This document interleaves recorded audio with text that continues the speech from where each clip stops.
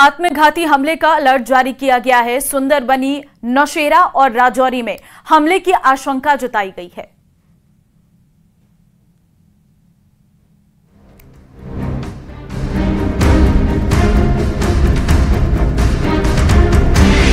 जम्मू कश्मीर में आतंकी हमले का अलर्ट।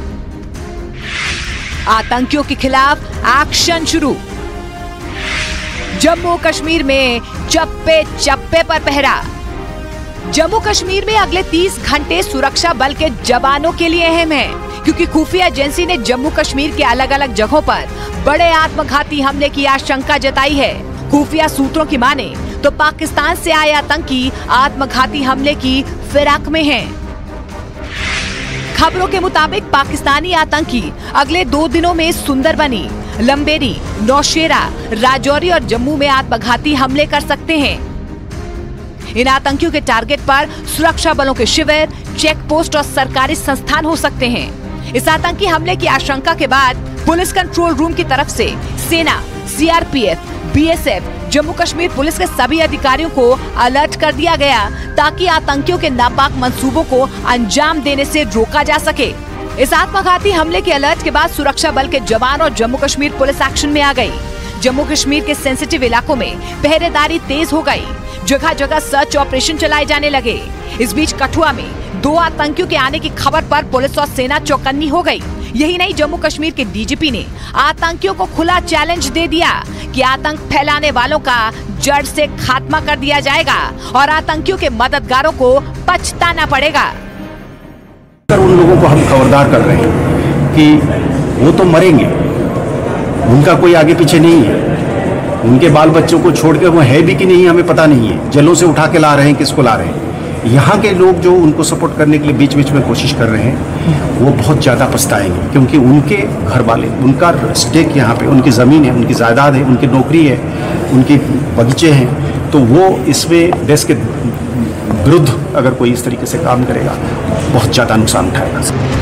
आतंकी हमले के अलर्ट के बाद से ही जम्मू कश्मीर के अलग अलग इलाकों में सर्च ऑपरेशन तेज हो गया। आतंकियों के खिलाफ सर्च ऑपरेशन की तस्वीरें जम्मू कश्मीर के उधमपुर से भी आईं। वहाँ नेशनल हाईवे पर एक एक गाड़ी को तलाशा गया। किसी के भी संदिग्ध होने पर उससे कड़ी पूछताछ की गई। आतंकी हमले के अलर्ट के बाद से सुरक्षा बल फुल एक्शन में है। सांबा में भी जम्मू पठानकोट हाईवे पर पहरा सख्त दिखा। यही नहीं, जम्मू कश्मीर के डोडा से आई ये तस्वीरें देखिए। घने जंगलों में सुरक्षा बलों के जवान तलाशी अभियान करते दिखे। ये वही इलाका है जहाँ आतंकियों से मुठभेड़ के दौरान जम्मू कश्मीर पुलिस का एक कांस्टेबल घायल हुआ था। अभी की जो सिचुएशन है वो ये है कि ऑलमोस्ट जहाँ पे जो इंसिडेंट हुआ था, उसके काफ़ी दूर दूर तक हमने सर्च किया हुआ है और आगे भी सर्च कर रहे हैं। मैं आपके माध्यम से ज़रूर ये बताना चाहूँगा कि यहाँ की जितनी भी आवाम है, उनका बहुत अच्छा साथ जो सिक्योरिटी फोर्सेस है उनको मिल रहा है। हमारे पास खबर भी आ रही है और उनकी जो मूवमेंट है, उनकी मूवमेंट का हर घंटे में हमें पता भी लग रहा है। उधर रियासी आतंकी हमले के मामले में भी जम्मू कश्मीर पुलिस एक्शन में है। पचास संदिग्धों को हिरासत में लेकर पूछताछ की जा रही है। बीते 9 जून को रियासी में श्रद्धालुओं से भरी बस पर आतंकियों ने हमला कर दिया था, जिसमें नौ श्रद्धालुओं की मौत हुई थी। जम्मू कश्मीर में पिछले चार दिनों में चार बड़े हमले से दहशत फैल गई है।